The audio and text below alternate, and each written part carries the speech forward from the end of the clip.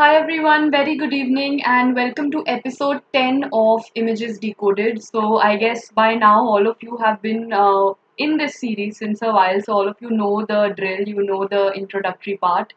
Uh, so, my I am Dr. Preeti Sharma and uh, I am an educator with Unacademy, and this is a series that we conduct every Tuesday at 8 pm where we discuss images in pathology. So, um, without you know uh, further elaborating just very briefly i would want to say we've had nine sessions up till now where we've tried and discussed some very important images starting from chapters like git respiratory uh, kidney pathology wbc pathology blood vessel pathology. So a lot of important chapters have been discussed and today i brought up a particular topic which is now uh, picking up the pace. And there was a very important question that came in the recent AIIMS exam as well that was conducted so that is also something that I've included. Many of you might have appeared for the AIIMS exam, so you know what question am I talking about. I'm talking about the adequacy criteria that was asked to use. So this particular session, not only have I got the histopath pictures, but I've tried to incorporate the FNAC pictures also that you can get of thyroid gland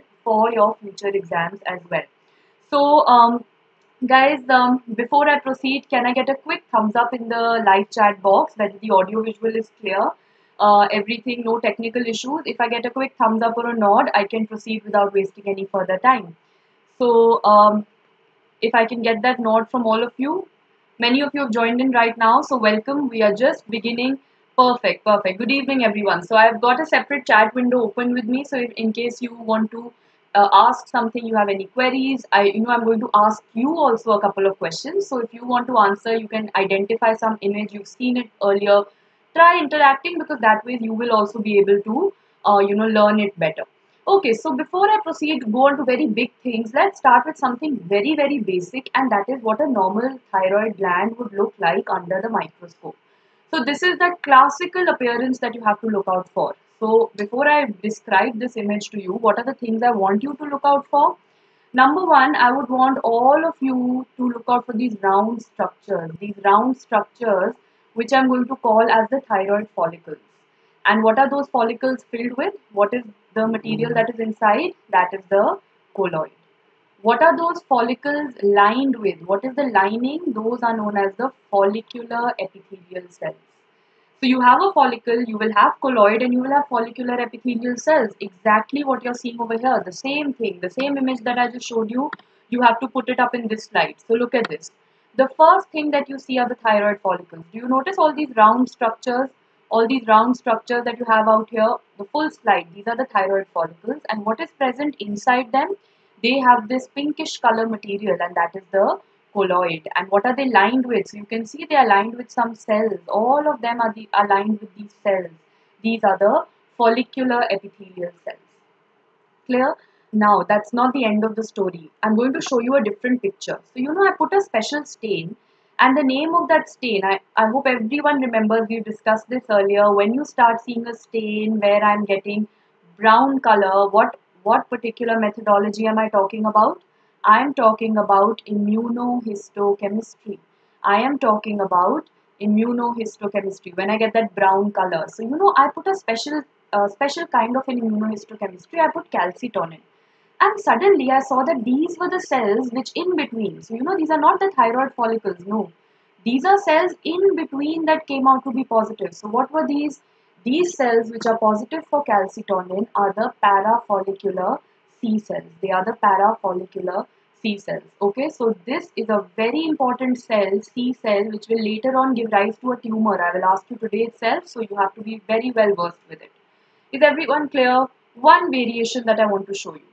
So do you remember, do you remember that the cells that I showed you, see how were the follicular cells? Didn't I tell you the follicular cells are like cuboidal, very tiny. Now I'm going to show you some change that can happen in them. Look at this. Look at this change. Now what do you think? Do you think those uh, the cells are cuboidal and tiny? Not at all. Now the cells have become huge. They are humongous cells. They are huge cells. They are very, very pink. They have this very nice, pretty pink appearance that they are giving to you. If you see their nucleus, you will see that there is a dot inside the nucleus. So can I say they have a prominent nucleolus? What are these cells, guys? They have many, many fancy names. Many of you have started calling it, calling it Hashimoto's. No, Not so soon, not so soon. I'll come to that as well. So, you know, it's got a lot of names. I'll make you familiar with all of them. These are the Hürthle cells, also known as the Askanazy cells, also known as oncocytic cells, also known as oxyphilic cells. So, you know, Hürthle was the scientist, so Hürthle cells. Askanazy was the scientist, so Askanazy cells. Oncocytic, the word oncocyte means swollen. So, everyone agrees that they appear very huge, they appear ballooned, they appear swollen. So, that is the oncocytic and oxyphil. Why do I call it oxyphilic cell? Because look at their color.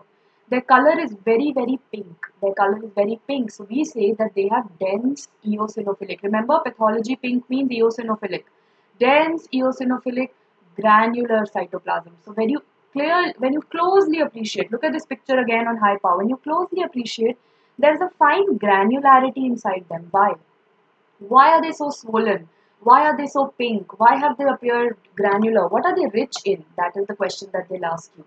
They are extremely rich in mitochondria. So guys, is everyone clear? Is everyone clear with these Hürthle cells? Where will you see them? Where do you use them for your diagnosis? I'll come to that. But this is a variation. So the follicular epithelial cells, which were initially looking very nice, tiny and cuboidal, they've become big, swollen, pink in color. Those are the Hürthle or the Askanazy cells. Okay, so this was very basic. Now I'm coming to the question that the AIIMS exam asked you. So the exam that was conducted on 11th of this month, a few days back, clearly asked you that when you're doing a thyroid FNAC, okay, so you put a needle in the thyroid, you've done a thyroid FNAC, how many cells should you see under the microscope to say that, okay, yes, it is adequate. So, you know, from where, where did they ask you this question? So this is this was actually many students asked me later on that was this an undergraduate level question. So I agree with all of you, it wasn't. It was a postgraduate level question, but that is an AIIMS pattern, right? They will test you on something extra edge. So from where did they pick up this? So when we report thyroid FNACs, when we get a slide, the surgeon sends us a slide and we do thyroid FNACs, when we see it under the microscope, you know the report that we give, we follow a system. We follow a system known as the Bethesda reporting system. Bethesda reporting system. Somewhere else, somewhere else also you study the Bethesda reporting system. So you know it is a standardized system that if I am reporting thyroid FNACs, I'm looking at thyroid FNAC under the microscope, I should follow Bethesda reporting. If you are looking at, you know, you are sitting in some other lab and reporting it, you should also follow Bethesda reporting. So it's standardized. Everyone is following Bethesda reporting system. Very good, very good, uh, Dr. Abu. You are right. The same Bethesda reporting system is number one for thyroid. It is also used for pap smears. The pap smear question, you also got pap smear question in the same exam. So it is also used for pap smear. So from here they ask you that what is the adequacy and I've got you the screenshot directly from the Bethesda book. So don't get too, um, you know, to uh, this thing that it's such a long paragraph that you've written. I'll highlight what they asked you. They asked you what was the criteria for adequacy. They ask you what is the criteria for adequacy. Look at this. You have to see how many uh, clusters? You have to see six clusters. So six groups of well visualized follicular cells. Six groups. So one, two, three, four, five, six. You have to see six groups of clusters or clusters. Every cluster should have at least 10 cells. So one, two, three, four, five, like this. Every cluster should have at least 10 cells. So is everyone clear with this? You are supposed to have 6 groups of follicular cells with at least 10 cells per cluster. But now what can they ask you further is that this rule can have certain exceptions. Sometimes you are not seeing 6 groups. You are not seeing that every group has 10 cells but still you will say that okay it is adequate. When if what if there is a cytological atypia you are seeing some cell which is showing you some kind of a malignancy. You can't ignore it. You can't say that no i will report a malignancy. I will report atypia only when you show me six clusters. No. You have to warn the patient. You have to warn the clinician so in that case there are exceptions. So if you see atypia you are not going to discard it saying that no it is inadequate. You will report it. Second if you are seeing inflammation see like you're dealing with hashimoto's thyroiditis De Quervain thyroiditis. When you're dealing with thyroiditis, it, lots of inflammation, then also you can, you know, uh, give a little bit of leverage to yourself. You can ignore this criteria and you can report it. And lastly, lastly, when you're dealing with colloid nodules, sometimes you might see only and only colloid. you know, you're not seeing any thyroid follicular cells, only colloid. Will you still say that, no, I can't see follicular cells, I will not report it? No, you can't do that. So because it is a colloid nodule, you will obviously see only colloid. So in that scenario also, you can escape this criteria. So as a quick revision, guys, ideally the criteria says you should see six groups and every group should have 10 cells.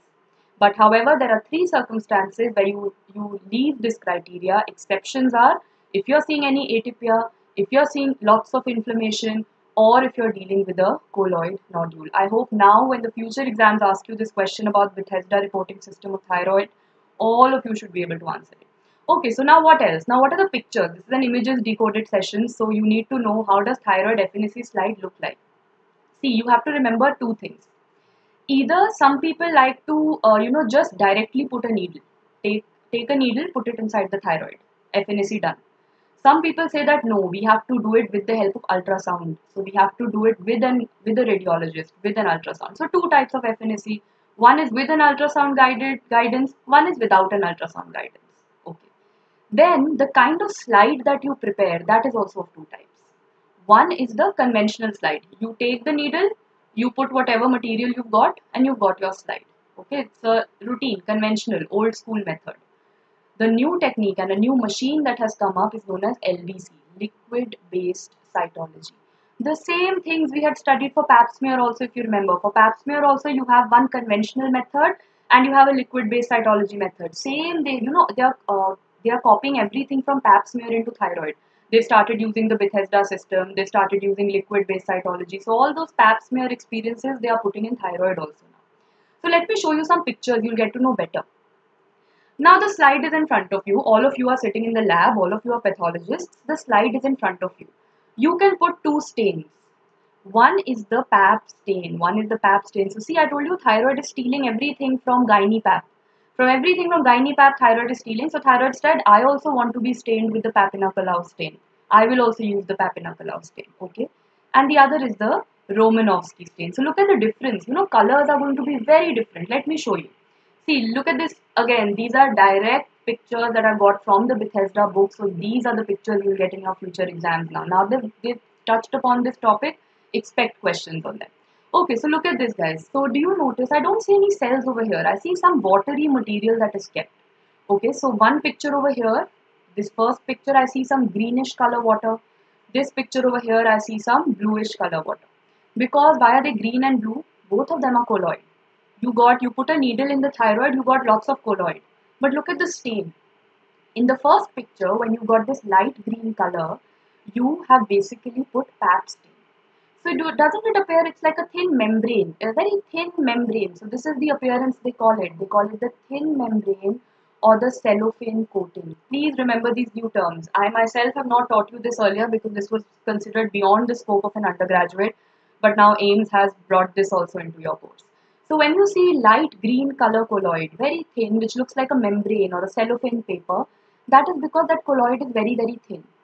But the same thing when you will look at it on a Romanowsky stain. Look at the other picture. What was the color you saw over here? Here the colloid has become blue. Why? Because what stain have you used? You've used the Romanowsky stain. And everyone agrees this has that nice chicken wire pattern. It has that chicken wire appearance. Is everyone clear how thin colloid is going to look like under the microscope on an FNAC? When I use the pap smear, I've got a cellophane paper like green color. When I've used a Romanowsky stain, I've got a chicken wire blue color. But this was thin colloid, very thin watery colloid you got. What if on putting the needle, you got very thick colloid, you got very thick colloid. This is the picture that you have to know. So again, there are two pictures. One is showing you a bluish color, one is showing you pink orange color, means I've used different different stains. This is the thick colloid. This is very thick. You didn't get that watery, you got a little thicker fluid, thick colloid. So when you see the blue color, this is the Romanowsky stain. See in the previous one also blue color was Romanowsky stain. And doesn't it appear it's like a glass which has cracked? So can I say thick colloid looks like cracked glass appearance? Everyone can appreciate it's a very pretty picture which I've taken directly from the Bethesda book. These are the guidelines that they've given. These are the pictures they've given for reference. They've got a reference book. If any of you wants that book, you can always contact me on Telegram and I can put that across to you. So please remember these are the pictures they themselves have given for you to refer to. So it looks as if a glass has cracked or a glass has shattered. So that is the thick colloid. You see the blue because you've used Romanowsky stain.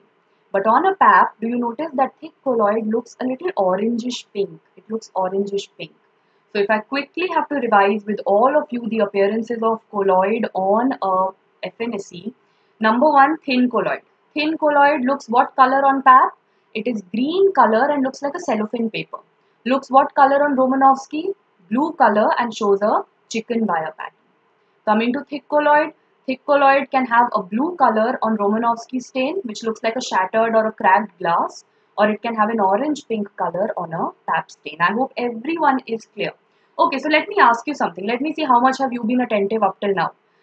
Look at this. This is the slide that I've given you after FNAC of the thyroid. Do you think this is an adequate uh, slide? Yes or no? I want a yes or no. Is this an adequate smear? Do you want to sit down and report with Bethesda on this? Would you give a diagnosis? Would you give a diagnosis to this?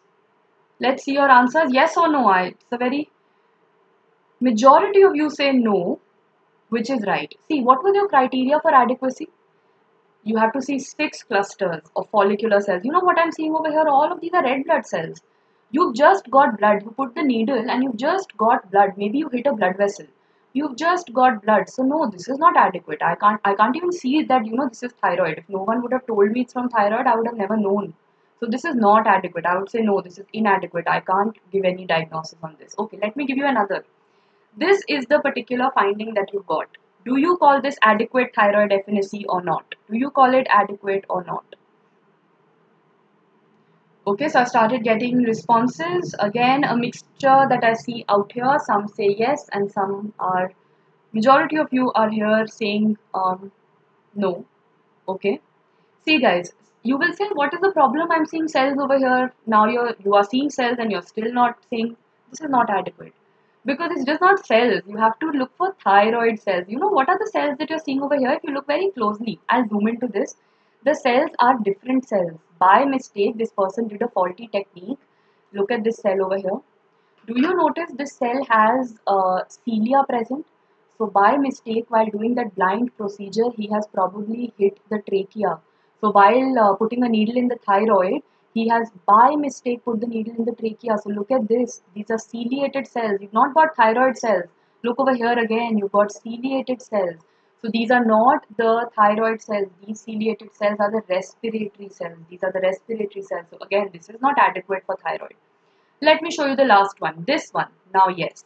Now I can see some clusters. Look, one, two, three, four, five, six. At least six I can see very well and all of them roughly have more than uh, 10 cells on an average. You don't have to count.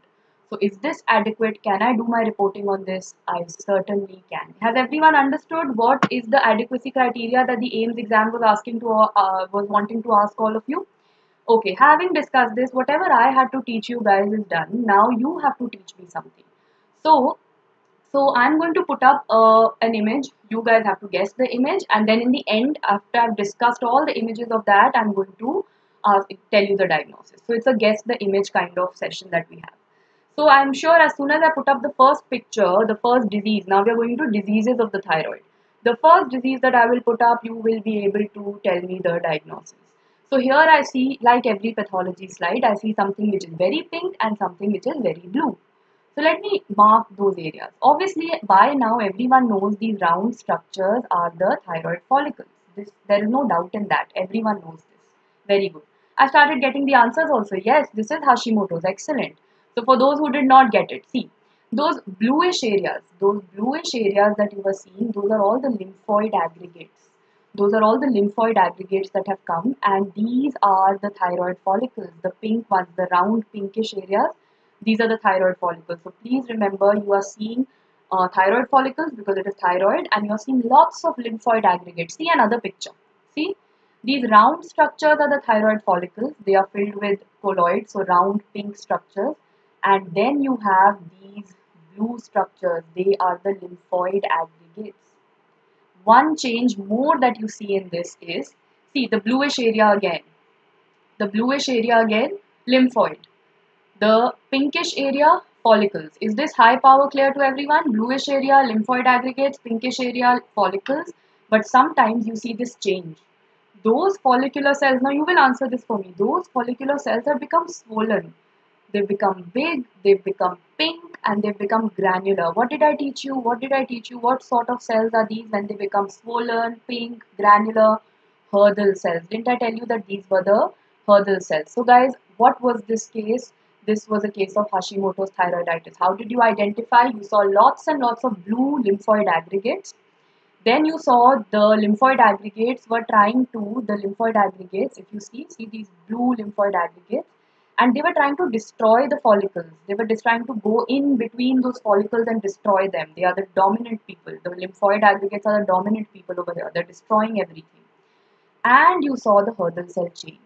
The same thing when you want to look at at a gross. All of you called it Hashimoto's thyroiditis, right? So this is how the classical gross, it's an opened up thyroid so remember there's a diffuse enlargement and that's a question that you guys get in the exam also. Does Hashimoto thyroiditis present as a diffuse enlargement or is it a solitary nodule? So most commonly remember it is going to be the diffuse. See the full thyroid gland has enlarged. It is the diffuse enlargement and it is homogeneous. You don't see different different colors. It is homogeneous all looking the same. So that is the classical gross and the answer of this case was Hashimoto's thyroiditis. Let me show you one more thyroiditis now. And it's a classical. If you've read your theory, all of you should be able to identify this. So the next, guess the image that you have is this one. I've told you this is from the thyroid and you would know yourself because you can see these thyroid follicles. You can see these thyroid follicles. You know this is from the thyroid. This is thyroid follicles. But what else? Something else you're seeing. If you've read your theory, you should be able to answer this question within a few seconds. There's another thing other than thyroid follicles that you're seeing. What I've highlighted now, can you see there are these giant cells, cells with lots and lots of nuclei, cells with lots and lots of nuclei that you see over here. So look at this, one giant cell, another giant cell, another one that I've encircled here, one more here. Some I've encircled, some you can see on your own. Lots and lots of giant cells. Very good, very good. The kind of thyroiditis that I'm talking about. See, on a high power, you've got these two big giant cells. On a higher power, I've tried to show you. So you are talking about, very good, you're talking about the De Quervain thyroiditis. Very good, guys. Everyone got that right. So what will you look out? Always remember, it's a thyroiditis. You will see inflammation. You will see inflammation. And here, the predominant inflammation are these giant cells.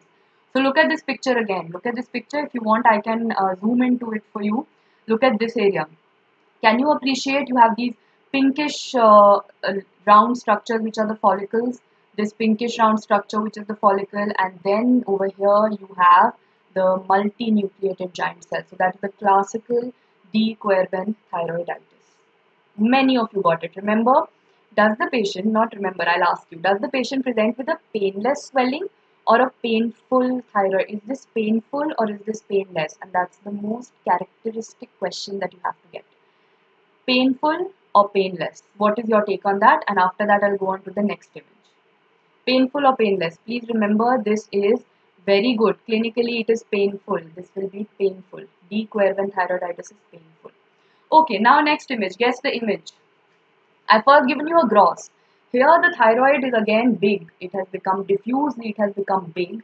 But the color is very, very characteristic. It's got a beefy red color.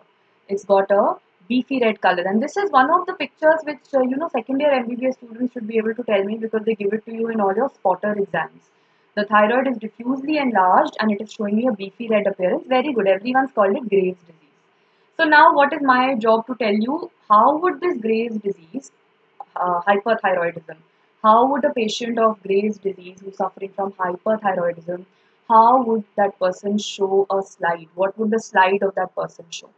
So see, um, there are there's hyperplasia. There is hyperplasia. So do you notice initially the thyroid follicles are always used to show you very nice and round. Nice and round thyroid follicles. Here what am I showing you? I'm showing you some big thyroid follicles. Some of them are becoming different shapes. So they are big thyroid follicles. What are they filled with? Pink color material, colloid. But did you notice one change? Let me zoom into this. Do you notice this change over here? Do you see some empty areas at the margins? These whitish empty areas. Do you see it? Does everyone appreciate these whitish empty areas at the margins? They are at the margins of all the follicles. Of all the follicles. What is this? Let me show you a very higher power of that. Now see this entire picture. Do you notice? all those empty, empty whitish areas. Look at this high part. Look at this, all those whitish areas. What is this known as? This is known as the scalloping. It looks, you know, like an ice cream scoop. Like an ice cream scoop, it looks as if the colloid has been eaten up. It looks as if the colloid has been eaten up. Like an ice cream scoop, someone is scooping it out. So that is scalloping of the colloid. Who is eating it up? These follicular cells. Go back to the previous picture. Look at this. It looks as if these follicular cells, these follicular cells, they are trying to scoop it out. They are trying to eat it up like an ice cream scoop. So what do you call this phenomena? You call this phenomena the scalloping of colloid, which you see in a case of Graves' disease. Is everyone clear? Yes, many of many of you have answered scalloping. Very good. But now what is the new trend? The new trend is to give you lots of FNAC slides and to ask you FNAC questions. So one FNAC finding that you would see when the thyroid gland is very active, look at this.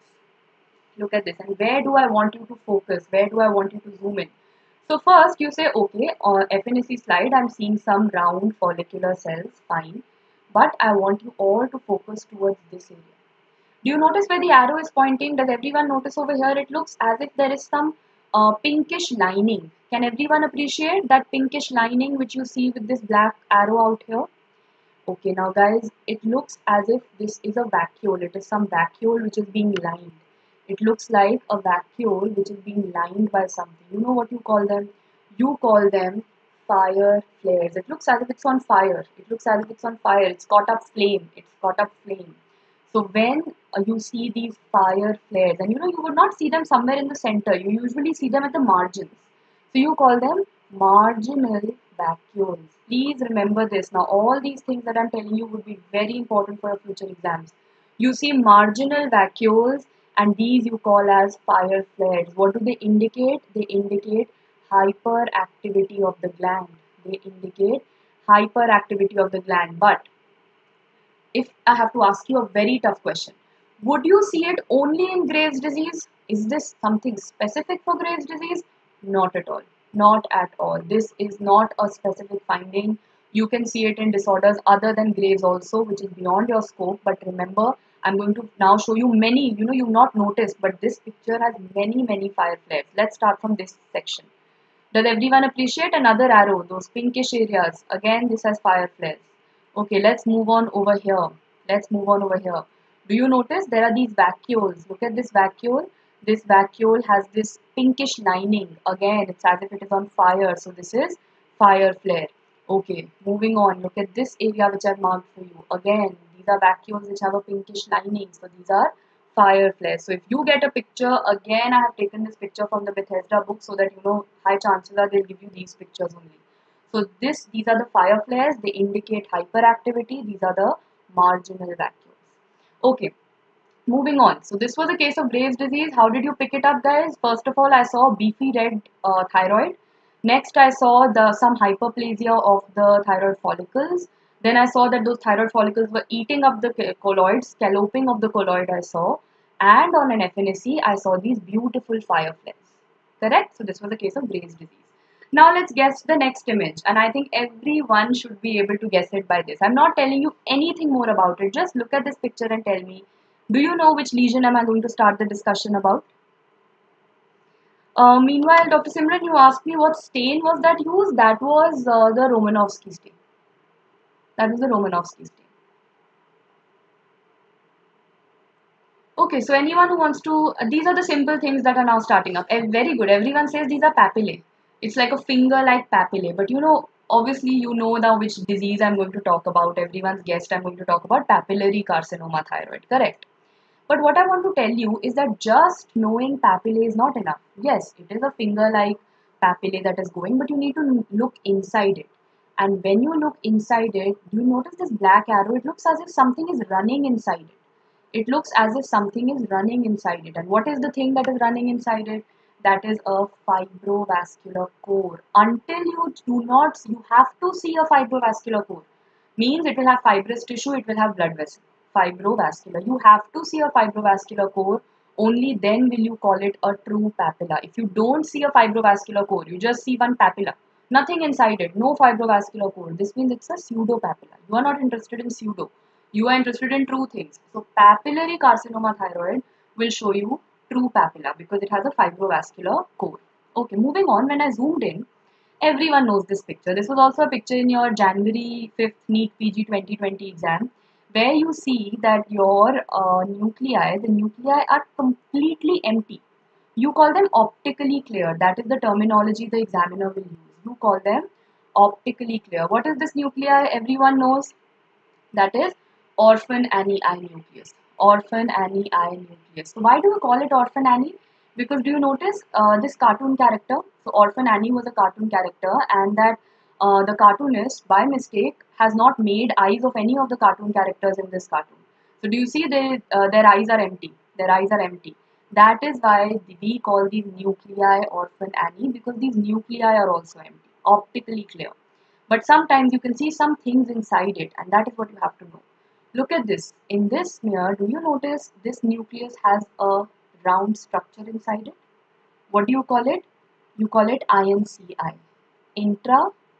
Intranuclear cytoplasmic inclusion. Very important point.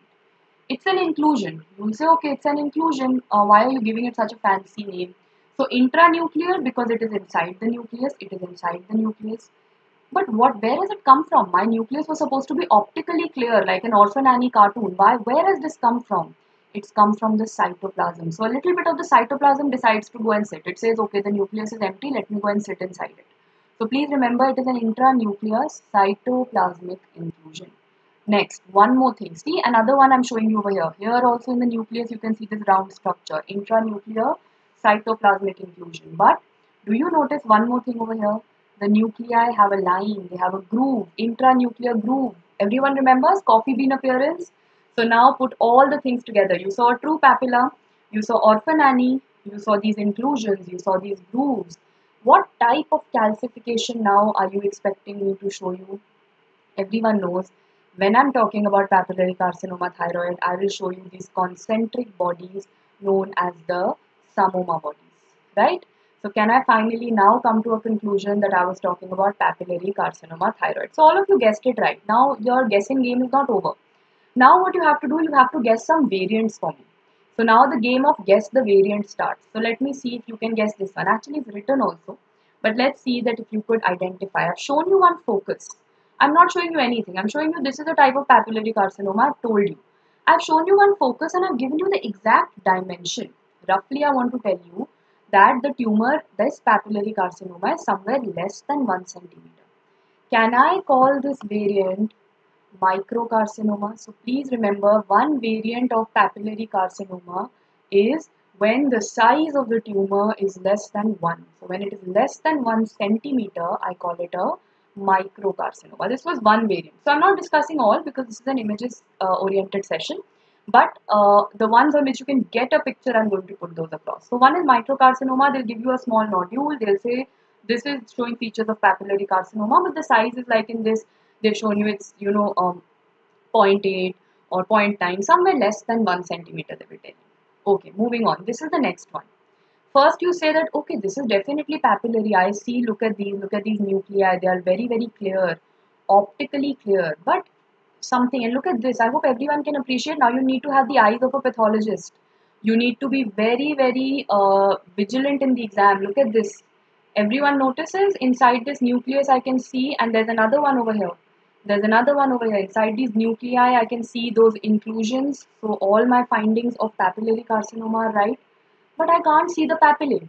I can see the inclusions, I can see the round inclusions, I can see the clear cells, but I can't see papillae. I can see the cells are arranged in a round manner, in a follicular manner.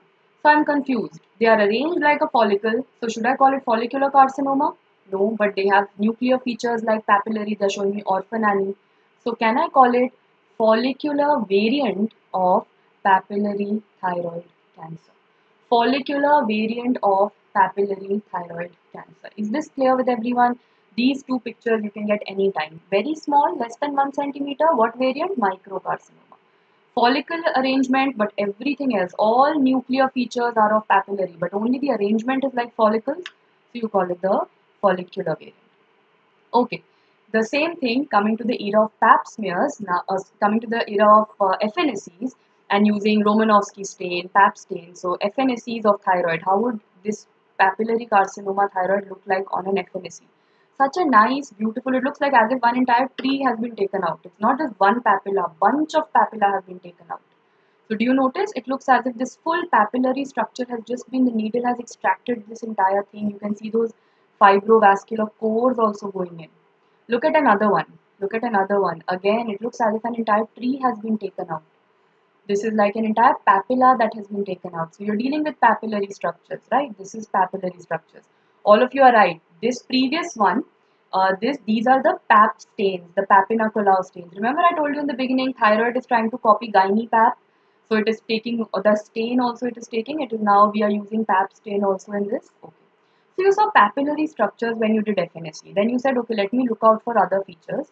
So when you saw higher power, you saw that some of the nuclei were showing you these inclusions. You got your answer. You are seeing the um, you are seeing the papillae, you are seeing these inclusions on an FNAC. You are dealing with papillary carcinoma thyroid. I hope everyone will be able to identify and correlate the histopath and the FNAC slides now. Okay, now guess the image, the next one. So we are left with precisely 3-4 more pictures, that's it. So the next image, I'm sure all of you know this. No history, let's see how many of you can identify. Even by ruling out, you know the diseases we've spoken about, you know the diseases that we are left with, so let's see.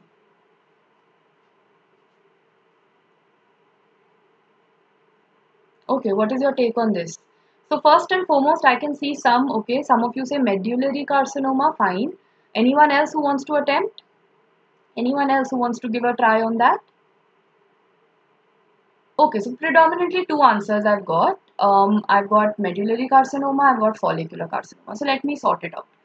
See, first you see round round structures which are filled with colloid. So what are these? Follicles. I'm seeing so many of them. This entire section shows me only round and round thyroid follicles. Only round and round thyroid.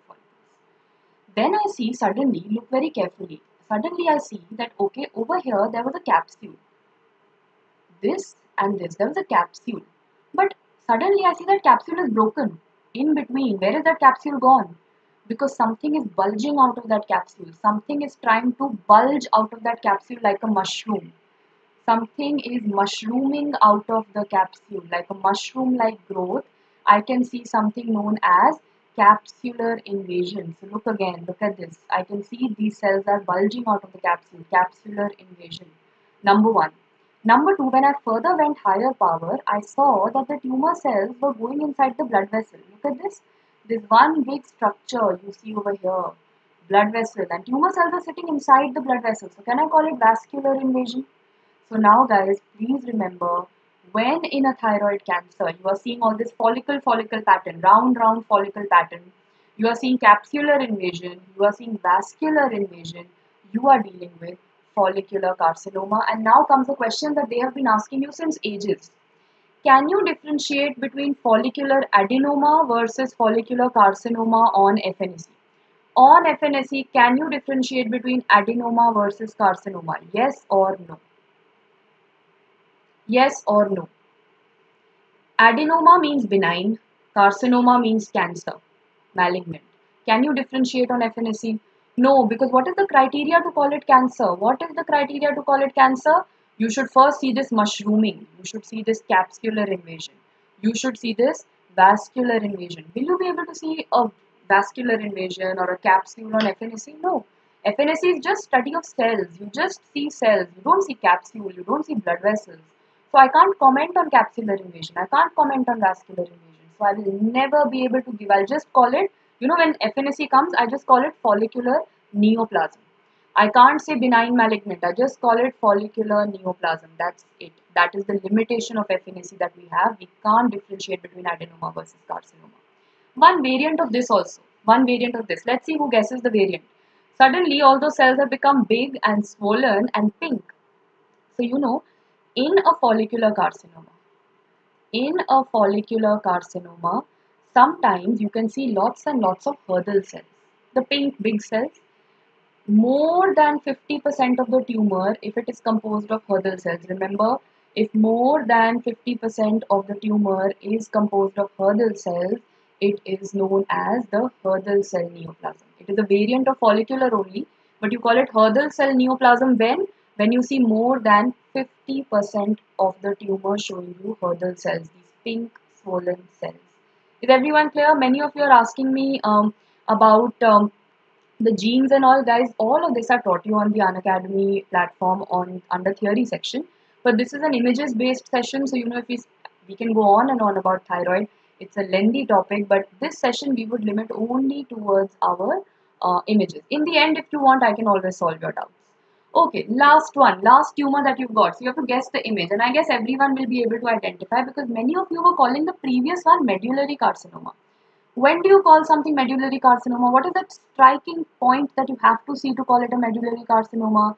You will always, you will always look for this pinkish material. Do you notice this pinkish material that is present over here? Pinkish material over here and pinkish material over here so this is not colloid. Why is it not colloid?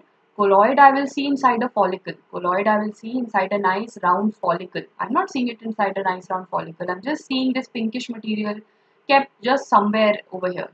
Lots of pinkish material. So let me give you another hint. Yes, many of you started getting the answer right. So I said that okay, I want to do some stain. So I did this brownish color stain all of you started thinking of amyloid, you started thinking of medullary carcinoma thyroid. So can you tell me this brownish color stain, immunohistochemistry, which marker must I have used when I wanted to go in for the diagnosis of medullary carcinoma thyroid? Which marker on immunohistochemistry I must have used? What is the tumor marker of medullary carcinoma thyroid? It is calcitonin. So on immunohistochemistry, I have put up calcitonin and look at the tumor. The full tumor has become brown. Everything has become calcitonin positive because this is a case of medullary carcinoma. This is medullary carcinoma, but still, you say, okay, calcitonin, fine, it is positive. What about that pink material? Can you prove this to be amyloid? Whenever I want to prove this to be amyloid, what do I do? I go in for polarizing microscopy. I going for polarizing microscopy. Yes, many of you are answering this and do you see that birefringence? Do you see that material? Yes, very good. Congo red, amyloid, polarizing microscopy. Do you see that classical birefringence? This is something you have to know. So if I have to sum up medullary carcinoma thyroid, you will see a lot of pink material. You'll say maybe maybe amyloid. I'm not very sure. Let me put some markers. So for the tumor cells, what marker do you put? You put calcitonin. Wasn't this the very first slide I showed you? Didn't I tell you calcitonin was a marker of or where is calcitonin produced from? Parafollicular C cells. So can I say this is the only cancer of the thyroid which arises from the C cells? Not the other. See, papillary carcinoma was arising from follicular cells follicular carcinoma arising from follicular cells. But medullary carcinoma, medullary does not arise from the follicular cells. It arises from these parafollicular C cells. And what do they produce? They produce calcitonin. So that is why I'm getting positivity for calcitonin. On a polarizing microscopy, how do I prove it to be amyloid? I put Congo red, I get a birefringence. So what is your final answer? Medullary carcinoma thyroid. Is everyone clear with this? Thyroid cancers are done, the images part of it and now I've got two spotters for all of you after which we are done for today. So one is a spotter which I expect all second year students and MBBS students to answer because it's uh, very unlikely to get it in the exam but uh, you know since it's there in Robbins and it's there part of your course we must know it. The second spotter is for all the interns and the post interns to answer. So the first spotter, the easy one. Let's see, it's a gross picture. I've got a thyroid and I don't want to use the description of this because then you would know the answer. Let's see who gives the answer now. Just two that you got, two spotters out here. Let's see who can uh, come up with an answer. Very good, excellent. Dr. Sushmita, Dr. Subha, very good. You see multiple nodules, multiple nodules that are present. Some are big, some are small, some are extremely tiny. Everyone got it right. Very good. This is the case of MNG, multinodular goiter, multinodular goiter. So this was a very simple spotter that we had. Now let's go in for a tougher spotter. Here, here I, and I have shown you in one of my previous AIIMS daily sessions also. If you guys have been tracking the AIIMS daily MCQ sessions, you know this answer already. So once we had a quiz on Mentimeter and we had discussed this question. So suddenly the thyroid gland has become black. You call it black thyroid. And when you did the, you see the microscopy, you see there are these, uh, you know, there are these uh, blackish macrophages have eaten up some blackish pigment.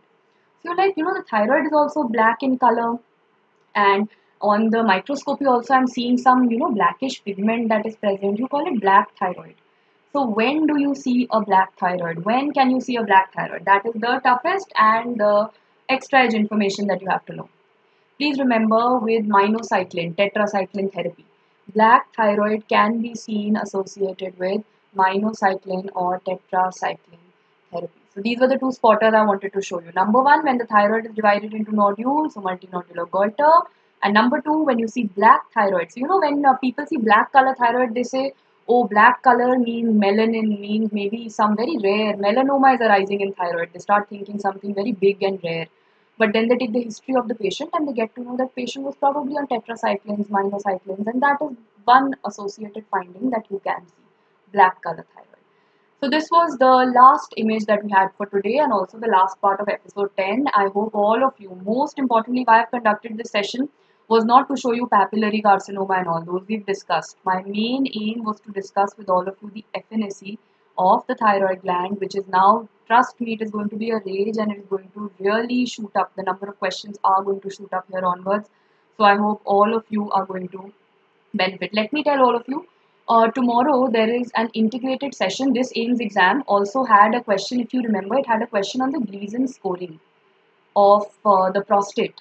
So tomorrow at 8 o'clock, uh, the surgery faculty would, would also be with me and tomorrow at 8 o'clock I'm going to we are going to come to you with a session where uh, we are going to talk about prostate biopsy and this Gleason scoring came to you in a lot of detail in this paper which we don't study it in that much of detail but now is the time. Since it's come it's important for your upcoming exams also. So that it full you know things have changed. There are recent advances in that Gleason scoring. All of that I will be telling you tomorrow. So tomorrow at 8 o'clock all of you must be a part of the telegram group. So i will put across the link on that and you can follow it. It will be on the youtube channel the same very channel that we have. So uh, we would be uh, talking about it. Uh, okay so okay so uh, you told me not to stop the two minute daily dose for pathology okay so yes i had a two minute daily dose session going on on my personal youtube channel so uh, i will certainly continue with that Dr. Danish, you've asked me how to differentiate between Hashimoto's and Hürthle cell follicular variant. See, Hürthle, Hashimoto's thyroiditis is inflammatory disorder, thyroiditis. You will only see inflammation, no tumor cells. Hürthle cell variant of follicular carcinoma, it is a cancer. You will see vascular invasion, you will see capsular invasion. Cancerous features would be seen. That is how you would differentiate. Okay. Um, okay, guys. Um, from where should you read Gleason? Don't worry. If you read pathology books for Gleason, it is uh, something that will uh, really confuse you. So I'm not telling you to read Gleason and come for tomorrow, not at all. Uh, because that is really going to confuse you. It's primarily a postgraduate level thing from the pathologist's point of view. So I'm going to simplify it that you can, you know, attempt your questions also. And at the same time, you don't get too confused with that complicated scoring. So I'm going to simplify it and uh, Dr. Sushmita, important topics for JIPMER. I have already posted one PDF on my Telegram group of the tables and the genetics and genes. You know, JIPMER is a very gene-oriented paper. And no one can predict JIPMER. It gives you some really random tough questions. But those are tough for all, right? But genetics is something they really ask you. A lot of genetics. So I posted a PDF on my uh, Telegram channel. You can uh, fetch it out from there. Also on the Unacademy platform, uh, there's one session that I had conducted, the JIPMER. You can just type it JIPMER previous year question. You can see that session. It's a 40-45 minute session where I've discussed few MCQs of the recent JIPMER paper that had passed. Uh, yes, what about the PGI and AIIMS 2020 discussion following this week? Both the discussions I will be conducting. So don't worry on that. I will put across the PDF also of the solutions of those two papers and I will put up a live discussion session as well.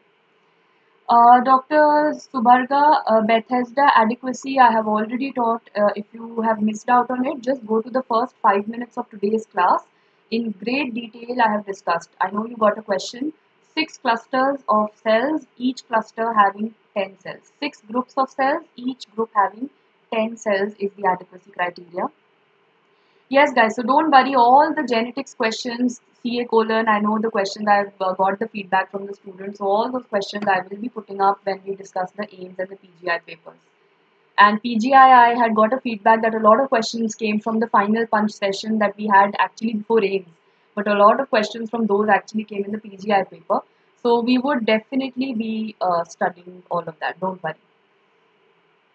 Um, Patho from Robbins. Robbins is the Bible. Robbins is your Bible not only for pathology, but if you get a hang of Robbins, you are sorted even for medicine. A lot of medicine topics do correlate with that over there. Thank you so much, guys. Thank you for all the appreciation. It's very motivating, and I hope I have been able to help you. I hope all of you are following that quiz that we are conducting on a daily basis on the Telegram group. If you haven't uh, been following it, it's a daily timetable that we are following. Uh, you can uh, search for my Telegram group by my name itself, that is Pathology by Dr. Preeti. And um, every day at 6 o'clock, I post one quiz of uh, somewhere between 15 to 25 questions on one particular topic. So we have started from chapter 1, we are currently on chapter 2. So like this, every day we take up different chapters and we have a timetable and we are revising full course pathology. So you can join in and attempt and study side by side so that you can complete your course.